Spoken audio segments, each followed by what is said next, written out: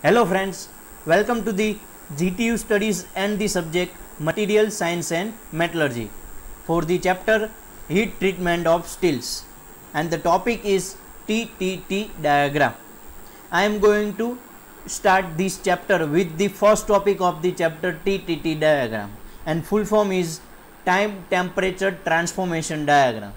Diagram means એક graph હોય છે એ ગ્રાફમાં બે એક્સિસ ડ્રો કરવાની છે એક એક્સિસ છે ટાઈમ અને બીજી એક્સિસ છે ટેમ્પરેચર અને ટાઈમ અને ટેમ્પરેચર બે એક્સિસ વચ્ચે આપણે એક ફેઝમાંથી બીજા ફેઝમાં થતું ટ્રાન્સફોર્મેશન બતાવવાનું છે. એટલે આખા ડાયાગ્રામનું નામ રાખેલું છે time temperature transformation short form TTT diagram શું આનો યુઝ થશે અને કઈ રીતે ડેવલપ થયો એ આપણે આજે વીડિયો લેક્ચરની અંદર સમજશું. અને ઘણી બધી વાર એક્ઝામમાં સાત માર્કની અંદર ટીટીટી ડાયાગ્રામ ડ્રો કરી એક્સપ્લેન કરવાનું પૂછાઈ ગયેલું છે. તો આપણે સ્ટાર્ટ કરીએ. સૌથી પહેલાં પ્રીવિયસ વીડિયો લેક્ચરમાં મેં તમને પરલાઇટ બેનાઇટ એન્ડ માર્ટેનસાઇટ આવું વીડિયો લેક્ચરનું નામ છે. એમાં મેં તમને આ ત્રણ ફેઝનું ઇન્ટ્રોડક્શન આપ્યું હતું.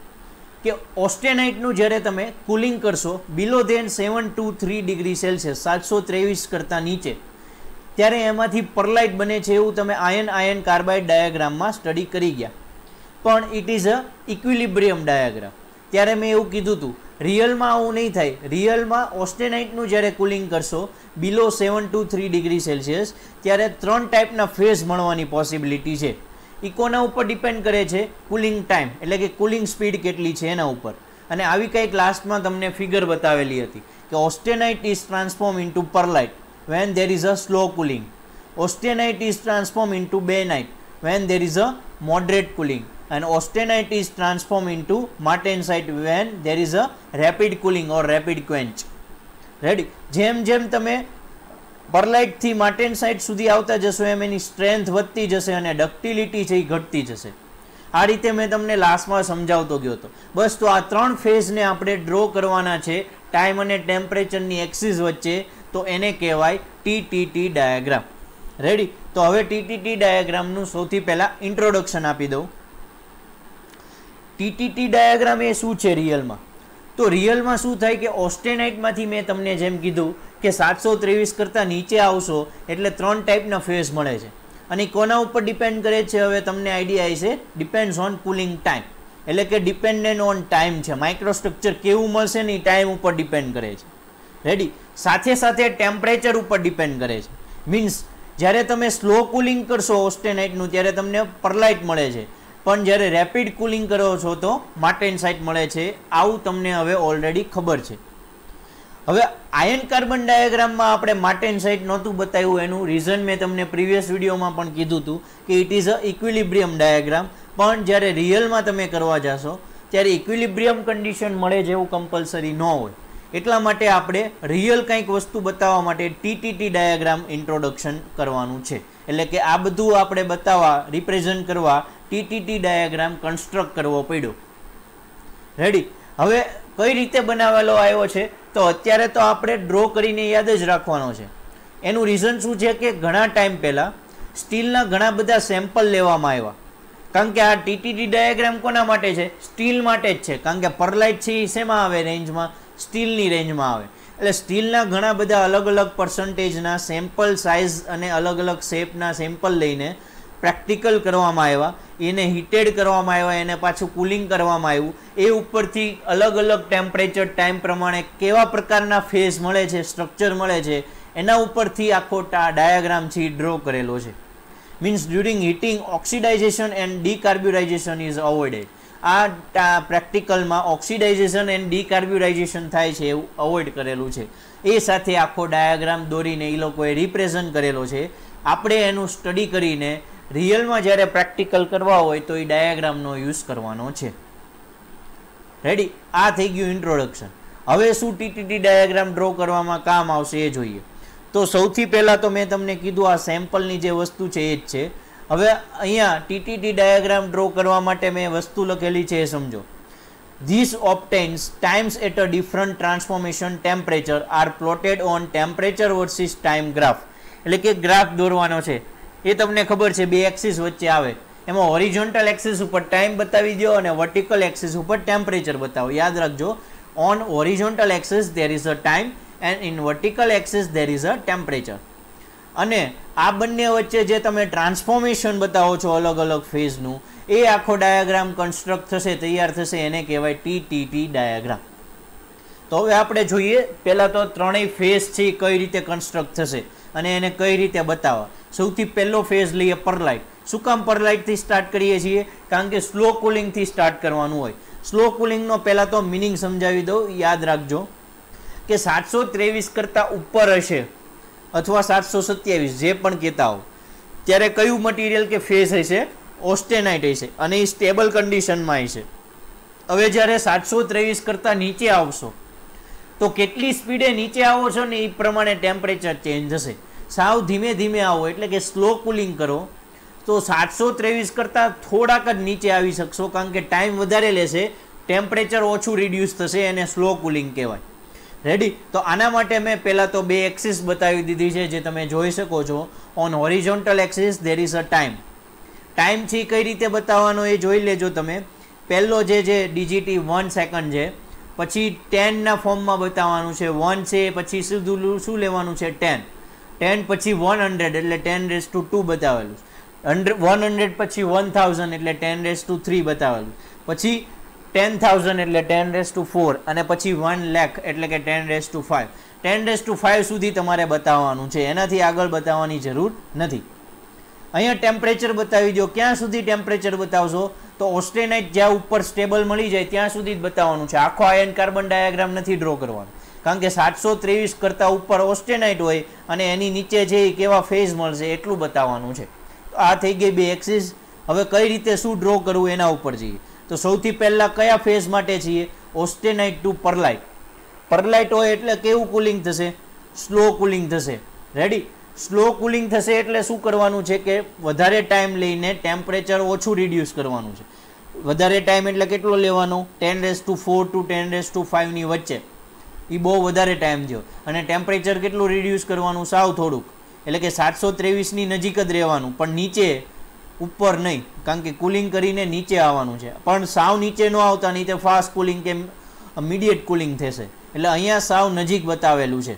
રેડી તો આ સાવ નજીક બતાવી દીધું છે, એટલે જો અહીંયા પરલાઇટ મળશે. એટલા માટે મેં અહીંયા લખી દીધું છે કે અહીંયા સ્ટાર્ટિંગ ફેઝમાં શું મળશે? પરલાઇટ મળશે. રેડી હવે આ જે એક્સિસ ડ્રો કરે સોરી આ લાઇન જે ડ્રો કરેલી છે એ લાઇન શું બતાવે છે? તો એમાંથી ગ્રીન લાઇન જે છે એ પરલાઇટનું સ્ટાર્ટિંગ બતાવે છે. એનો મિનિંગ શું થાય એ સમજાવી દઉં. સૌથી પહેલાં તો આ જે લેફ્ટ સાઈડ જે છે, ઉપર જે છે, ત્યાંથી સ્ટાર્ટ કરીએ. ઓસ્ટેનાઇટ કેવું છે? સ્ટેબલ છે. ત્યાંથી નીચે આવો. એટલે ઓસ્ટેનાઇટ નહીં રહી. પણ હજી પરલાઇટ ન બને ત્યાં સુધી ઓસ્ટેનાઇટ મળી શકે છે. અને કેવો મળી શકે છે? અનસ્ટેબલ એટલે અહીંયા જે ડાયાગ્રામની લેફ્ટ સાઈડનો જેટલો પણ એરિયા કવર થશે ને, એ બધામાં ઓસ્ટેનાઇટ જ હશે, પણ અનસ્ટેબલ હશે. શું કામ? કારણ કે સાતસો ત્રેવીસ કે સાતસો સત્યાવીસ કરતાં નીચે ઓસ્ટેનાઇટ છે સ્ટેબલ કન્ડિશનમાં મળે નહીં. એટલે ઓસ્ટેનાઇટ અહીંયા અનસ્ટેબલ હશે. રાઈટ સાઈડ જતા જાઓ, એટલે ગ્રીન લાઇન આવે છે. ગ્રીન લાઇન એટલે એ શું બતાવે છે? ઝીરો પર્સન્ટેજ પર લાઇટ એટલે કે અહીંયા ગ્રીન લાઇન સુધી પૂરેપૂરો સો ટકા ઓસ્ટેનાઇટ હશે. જેવી ગ્રીન લાઇન ક્રોસ કરશો એટલે પરલાઇટ સ્ટાર્ટ થઈ જશે બનવાનું. કઈ બાજુ? સ્લો કુલિંગમાં આટલા એરિયામાં પરલાઇટ છે એ આ dotted line black dotted line સુધી લ્યો એટલે અહીંયા પચાસ ટકા ઓસ્ટેનાઇટ અને પચાસ ટકા પરલાઇટ હશે એટલે અહીંયા પચાસ ટકા લખી દીધું. અને હજી રાઈટ સાઈડ આવો એટલે રેડ લાઇન મળશે. એ રેડ લાઇન શું બતાવે છે કે ત્યાં ઓસ્ટેનાઇટ છે ઝીરો થઈ ગયું હોય છે અને પરલાઇટ સો ટકા થઈ ગયું હોય છે વન હંડ્રેડ પર્સન્ટેજ અને ડાયાગ્રામની રેડ લાઇનની આ બાજુ આવશો રાઈટ સાઈડ એટલે ટોટલી શું હોય છે? ખાલી પરલાઇટ પણ કેટલા ટેમ્પરેચર સુધી? તો ટેમ્પરેચર છે એ કેટલું રાખવાનું છે? સિક્સ હંડ્રેડ કે ફાઇવ હંડ્રેડ ફિફ્ટી સુધી. જો અહીંયા જોઈ શકો છો. ફાઇવ હંડ્રેડ અને સિક્સ હંડ્રેડની વચ્ચે ફાઇવ ફિફ્ટી અથવા તો સિક્સ હંડ્રેડ સુધી. આટલા ટેમ્પરેચરની રેન્જમાં જ પરલાઇટ મળશે. એની નીચે જો આવો, તો immediate cooling moderate cooling થઈ જશે મીડિયમ બરોબર? ટાઈમ વધુ છે એટલે. સાવ ટાઈમ ઓછો કરી દો અને ટેમ્પરેચર એ ઓછું રિડ્યુસ કરી દો સાવ ઓછું કરી દો તો એ ફટાફટ કુલિંગ થયું. ફાસ્ટ કુલિંગ થઈ ગયું. એટલે પહેલાં તો સ્લો કુલિંગ મોડરેટ કુલિંગ અને ફાસ્ટ કુલિંગનો મિનિંગ સમજવાનો છે. રેડી એટલે સ્લો કુલિંગ એટલે શું થાય કે ટાઈમ વધારે લેવાનો છે અને ટેમ્પરેચર છે એ ઓછું રિડ્યુસ કરવાનું છે. એટલે સાતસો ત્રેવીસની નજીક રહેવાનું છે બને એટલું. એટલે આવી કંઈક લાઇન ડ્રો કરવાની. એમાં હવે બે પરલાઇટ મળવાની પોસિબિલિટીઝ છે. પહેલો પરલાઇટ જે સ્ટાર્ટિંગમાં મળશે જે સાવ નજીક ઉપર મળશે, એ સ્ટાર્ટિંગમાં આવશે કોર્સ પરલાઇટ કોર્સ પરલાઇટ એટલે શું? તો કે જે પાર્ટિકલ્સ થઈ છે, જેને આપણે ગ્રેઇન્સ કહીએ છીએ એટોમની અંદર, અથવા તો સ્ટ્રક્ચરની અંદર. એ જે ગ્રેઇન્સ છે, એ બે પ્રકારના હોય. સુવ્યવસ્થિત અને અવ્યવસ્થિત, એવા આપણે ગુજરાતીમાં વર્ડ કહી શકીએ. તો એને આપણે કોર્સ વસ્તુ કહેવાય. અવ્યવસ્થિત મીન્સ કે રેન્ડમલી એવા પેટર્નમાં ગોઠવાયેલા હોય. એટલે કે એટલા બધા વ્યવસ્થિત ન હોય તો એને કોર્સ વર્ડ આપણે એ આપીએ છીએ. અને એકદમ સરસ પેટર્નમાં ગોઠવાયેલા હોય વ્યવસ્થિત રીતે, તો એને આપણે ફાઇન કહીએ છીએ. એટલે કોર્સ પર લાઇટ સ્ટાર્ટિંગમાં મળશે ઉપર. કોર્સ પર લાઇટ છે કેવું હોય છે? રિલેટિવલી સોફ્ટ અને ટેમ્પરેચર કેવું હોય છે? એનું વધારે છે, કારણ કે સ્ટાર્ટિંગમાં અહીંયા ઉપર મળશે. હજી થોડાક નીચે આવશો એટલે કોર્સ પર લાઇટની જગ્યાએ શું મળશે? ફાઇન પર લાઇટ મળશે. હશે એ પણ સોફ્ટ જ તે, પણ કોર્સ પર લાઇટની કમ્પેરિઝનમાં રિલેટિવલી કેવું હોય છે? હાર્ડ હોય છે. અને એનું ટેમ્પરેચર કેવું હોય છે? થોડુંક ઓછું હોય છે.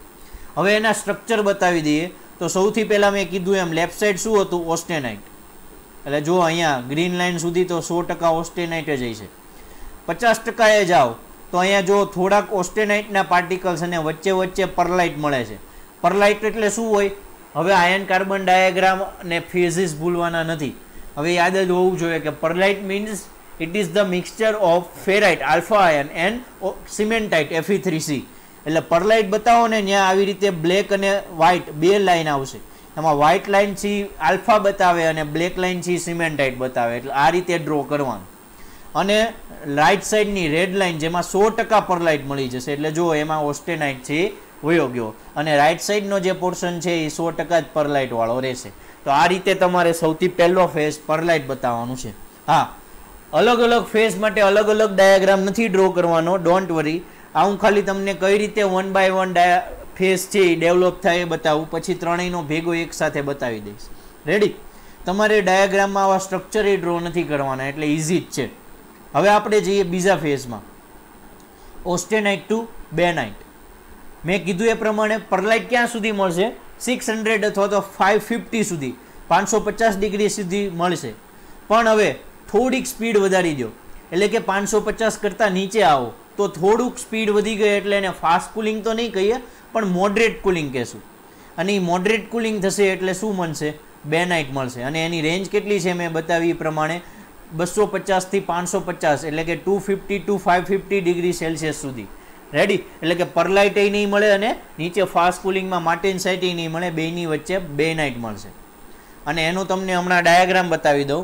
સૌથી પહેલાં તો જે ફેરાઇટ અને સિમેન્ટાઇટ છે, એ બંનેનું મિક્સચર છે, એ ફાઇન મળશે. કારણ કે પરલાઇટ કરતાં તો ફાઇન જ છે. એટલે કે ગ્રોથ થશે થોડોક. એટલે ન્યુક્લિએશન છે, એ ટ્રાન્સફોર્મે ટ્રાન્સફોર્મેશન થયું એવું કહેવાય. એટલા માટે ફેરાઇટ છે એમાંથી વધારે પડતું સિમેન્ટાઇટ છે, એ બનવાનું સ્ટાર્ટ થતું હોય છે. હવે હું તમને બે નાઇટ કઈ રીતે બનાવી દઉં એ શીખવાડી દઉં. જો હવે આ ઉપરનો ડાયાગ્રામ ઓલરેડી આપણે ડ્રો કરીને સમજી લીધો હતો હવે એ નથી જોતા. અહીંયા જો સો ટકા પરલાઇટવાળું મેં બતાવી દીધું છે. હવે આપણે જે સમજવાનું છે એ પાંચસો પચાસવાળું આ જે બ્લુ લાઇન છે ને એની નીચેનો પોર્શન શીખવાનો છે. કારણ કે આ પાંચસો છે અને આ પાંચસો ને છસોની વચ્ચે પાંચસો પચાસવાળી બ્લુ લાઇન છે. એની નીચે આવો એટલે બે નાઇટ મળશે.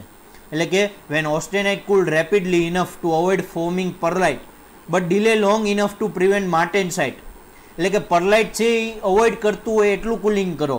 પણ એટલું વધારે નથી લોંગ ફાસ્ટ કુલિંગ કરવાનું કે માટેન સાઇટ એ મળી જાય. એટલે બેની વચ્ચે બનતું બે નાઇટ મળશે. એટલે મેં તમને કીધું એ પ્રમાણે બસો પચાસ અને પાંચસો પચાસ સુધી શું બનશે?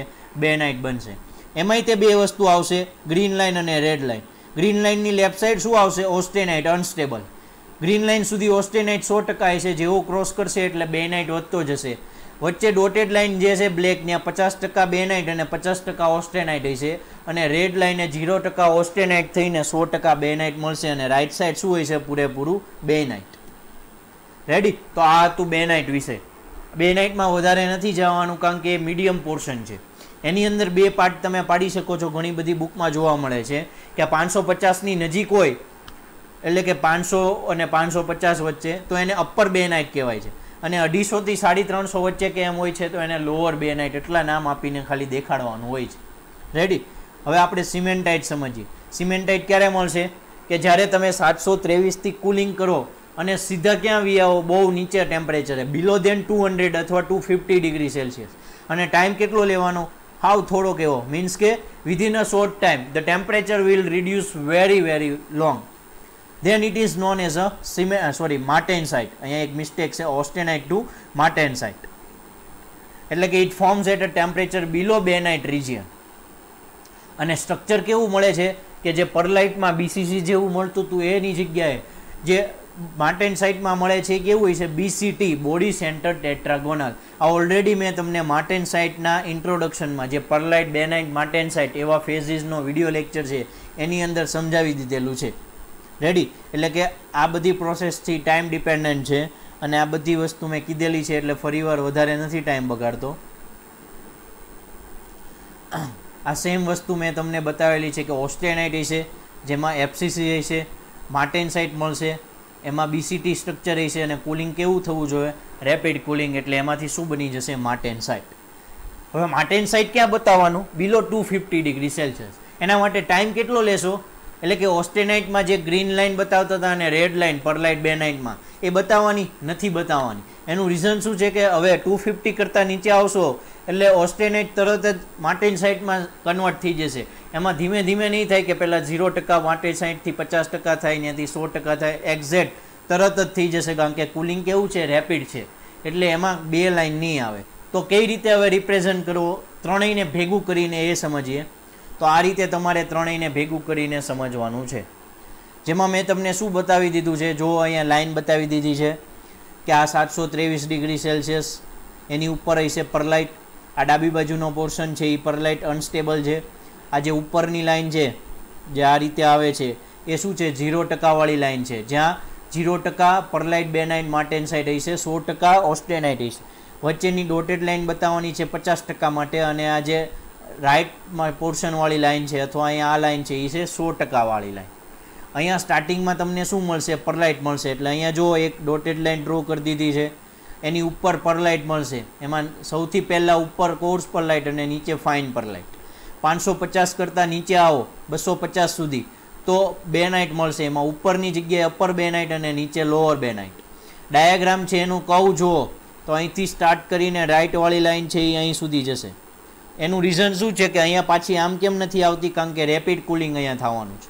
અને આ જે ઉપરની લાઇન છે, એ પણ અહીંયાથી અહીંયા આવીને અટકી જશે અને અહીંયાથી પાછી હોરિઝોન્ટલ લાઇન કારણ કે અહીંયાથી ઓસ્ટેનાઇટમાં સીધું આ રીતે માટેન સાઈડ મળશે. રેડી હવે અહીંયા બસો પચાસ કરતાં નીચે આવો એટલે માટેન સાઈડ એવું લખીને આપવાનું છે. તો આ રીતે આખો કવ તમારે ડ્રો કરીને આપવાનો છે. ત્રણ ભાગમાં ડિવાઈડ કરવાનો છે. ઉપરનો પોર્શન પરલાઇટ નીચેનો પોર્શન બેનાઇટ અને એની નીચેનો પોર્શન માર્ટેન સાઇટ અને આ છે કવ મેં તમને સમજાયું એ પ્રમાણે. How it will transform from zero percentage to one hundred percentage with the time consideration સૌથી વધારે ટાઈમ લ્યો તો પરલાઇટ અહીંયા મળશે. બરાબર? ધીમે ધીમે તમે ટાઈમ ઘટાડતા જાઓ અને ટેમ્પરેચર છે એ વધારતા જાઓ, તો ક્યાં સુધી પરલાઇટ બની શકે છે? પાંચસો પચાસ સુધી બનશે. હવે ટાઈમ છે તમે સાવ ઓછો લ્યો ને પાંચસો પચાસ નીચે આવો, એટલે ટોટલ ગમે એટલો ટાઈમ લ્યો, બે નાઇટ મળશે. અરે, હવે ટાઈમ વધારી દો પણ પાંચસો પચાસ અને અઢીસો નીચે વચ્ચે રહેશો એટલે બે નાઇટ જ મળશે. તમે ten days to five second લ્યો કે ટેન સેકન્ડ લ્યો. અઢીસો અને પાંચસો પચાસ વચ્ચે મળે એટલે એને બે નાઇટ કહેવાય. અને ગમે એટલો ટાઈમ લ્યો, અઢીસો કરતાં નીચે આવશો ટુ ફિફ્ટી કરતાં નીચે આવશો, એટલે તમને શું મળશે? માટેન સાઇડ એ પછી વન સેકન્ડ લ્યો કે વન ટેન થાઉઝન્ડ સેકન્ડ લ્યો. ટૂંકમાં ટુ ફિફ્ટી કરતાં નીચે મળ્યું એટલે રેપિડ કુલિંગ કહેવાય એટલે એને કહી દેવાનું માટેન સાઇટ આ રીતે પણ તમે ડ્રો કરી શકો છો, જેમાં સ્ટ્રક્ચર બતાવી શકો છો, પણ સ્ટ્રક્ચર બતાવવામાં ટાઈમ નહીં વેસ્ટ કરતા, કારણ કે એના માર્કે તમને મળવાના નથી. આ ફેરનાઇટમાં ટેમ્પરેચર છે, ઘણા બધા ફેરનાઇટમાં યુઝ કરતા હોય એટલે બતાવેલું છે. આપણે આને જોવાની જરૂર નથી. આપણે જે પ્રીવિયસ સ્લાઇડમાં જે ડ્રો કરેલો જોયો, એ જ ડ્રો કરવાનો છે. બસ એ ડાયાગ્રામ ડ્રો કરો. મેં તમને જે સમજાવ્યું ત્રણ ફેઝ વિશે એ ત્રણ ફેઝ વિશે એક્સપ્લેન કરો. અમુક પોઈન્ટ બતાવવા હોય બુકમાં બતાવેલા હોય એ પ્રમાણે પોઈન્ટ બતાવો તો એ પ્રમાણે બતાવી દો અને આટલું એક્સપ્લેન અને ડ્રો કરો એટલે સાતમાંથી સાત માર્ક મળી જશે. તો આ તો આજનો આપણો વીડિયો લેક્ચર જેમાં આપણે સમજ્યા T T diagram time temperature transformation I hope તમને સમજાણું હોય છે આ ચીજ સ્ટીલ માટે જ આવે કાસ્ટ આયન માટે નહીં. યાદ રાખજો પહેલાં તો. સ્ટીલની અંદરની વસ્તુ છે. એટલે જે ચેપ્ટરનું નામ છે હીટ ટ્રીટમેન્ટ ઓફ સ્ટીલ એનું આ સ્ટાર્ટિંગ થઈ ગયું કારણ કે હીટ ટ્રીટમેન્ટમાં આપણે સાતસો ત્રેવીસની આજુબાજુ જ રમવાનું છે. રેડી એટલે આ ડાયાગ્રામ સમજવો ખૂબ જ ઇમ્પોર્ટન્ટ છે. તો આ જો વિડીયોમાં ડાયાગ્રામ સમજાણો હોય તો વીડિયો લાઇક કરો શેર કરો અને સબસ્ક્રાઇબ કરો જીટીએસ સ્ટડીઝ ચેનલ અને આ પીપીટીની પીડીએફ મેળવવા માટે you can visit website W W dot GTU studies dot com thank you